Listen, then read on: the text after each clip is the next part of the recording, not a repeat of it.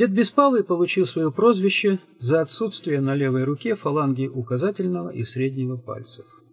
Рубанул когда-то сам, случайно, топором. Вот и не стало их. Впрочем, это ему совершенно не мешало, привык за много лет. Рыбаком был дед Беспалый, не просто везучим.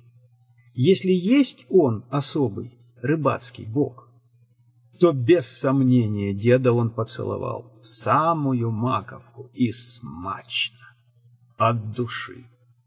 Дед мог поймать рыбку в любой, что называется, луже. Ну, в луже, не в луже, не видели, врать не будем. А в небольшом пруду городского парка, перемученном радостной мелюзгой так, что вода казалась толокняной болтушкой, ловил он, случалось, таких сазанов, каких и не бывает вовсе. Сколько раз к нему приставали желающие разузнать секрет удачной рыбалки. Какие только блага не предлагали. Дед отвечал всегда, да нет, ребятки, никакого секрета. Вот белую булку беру, с водичкой разминаю, и все. Врешь, беспалый. У меня тоже белая булка, и я тоже ее просто с водичкой разминаю. Сижу я от тебя пяти метрах, забрасываю туда же почти, куда и ты. Но ты-то ловишь. У тебя уже штук пятнадцать. Двадцать девять. Дед как раз вытащил еще одну. Тем более. А у меня хоть бы раз клюнуло. Ну, нету здесь никакого секрета. Дед, не нервируй меня. Электрик Рома вскочил и нервно забегал между жидкими кустами колючих акаций. Ну, хочешь, я твою удочку куплю? Червонец дам. Хочешь? Рома, ты не суетись. Присядь. Я тебе кое-что скажу. Ромка, который за пять минут до этого, матюкаясь, ломал свои снасти, с готовностью присел возле деда на камешек. Прежде чем покупать, дед пристально посмотрел на него, надо снасти спробовать. Правда? Правда, отозвался Роман.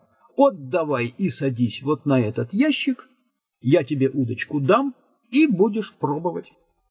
Рыбаки, располагавшиеся неподалеку, по обе стороны от деда, с интересом наблюдали. Некоторые даже забыли про свои удочки, так было любопытно. Через час примерно, когда у Беспалова в садке уже место для рыбы не оставалось, Роман снова не выдержал. «Дед, ну это же просто ты колдун, что ли? У меня ведь ни одной!» Взвился и, позабыв, что держит чужую удочку, чуть не сломал ее об колено. Врешь, беспалый, нельзя тут без секрета. Рома, ты не кричи. Положи удочку, потом будешь руками махать. Роман, опомнившись, послушно положил снасть, но продолжал трындеть. Ну почему ты такой жадный? Ну скажи, дед, жалко тебе, что ли? В чем секрет? В том секрет, Рома, что ты на мою удочку с моей наживкой сидя рядом со мной, не поймал ничего. А почему это, не знаю. Опять сказки мне рассказываешь. Секрета нет у него. И я ведь про то же самое, на твою удочку, с твоей наживкой, рядом с тобой, и нифига у меня нету, а у тебя он полный садок. Как это понимать, а? Нету секрета? Сказочник ты, дед. Тебе на радио надо выступать. Будешь сказки детишкам рассказывать? Ну, сказок я не знаю, и секретов никаких не знаю. А знаешь, одну легенду помню, и даже не одну. Вот будет время, расскажу. Погасла утренняя зорька, небо из бирюзового незаметно стало белесоватым, и на все видимое пространство обрушился беспощадный летний зной. Рыбаки давно уже свернули свои снасти, но никто не спешил домой, никто не выглядывал подходящий к недалекой остановке маленький пыльный автобус, который обыкновенно поджидали с нетерпением. Все собрались под огромной акацией, дающей призрачную спасительность от палящего белого солнца, и слушали деда. «Вот читал ты описание спидолы?» — обращался дед к кому-то из них. «Не читал. А что там сказано?» В данном приемнике триммеры КВ-диапазонов заменены на конденсаторы постоянной емкости. «Он Леха!» — Беспалый указал на расположившегося поодаль рыбака. «У нас специалист в радиотехнике. Ему это понятно, как яичница. Приемник может принимать радиоволны только определенных частот, и другие диапазоны не ловит. Так, Леша?» «Так», — отозвался тот. «Таким образом», — продолжал дед свою повесть, Лично я на Колыме переделал сотни, если не тысячи спидол, которых прислали в качестве поощрений чукотским оленеводам, рыбакам, охотникам. Это в середине шестидесятых было.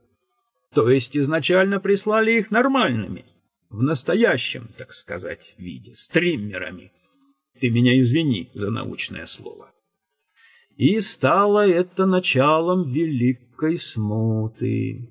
А почему стало? А потому что чекотские оленеводы и старатели крутили ручки настройки коротких волн и очень даже запросто ловили бередящий разум передачи запредельных радиостанций, расположенных в непосредственной близости от границ нашего великого государства в этой самой ихней растреклятой Америкляндии.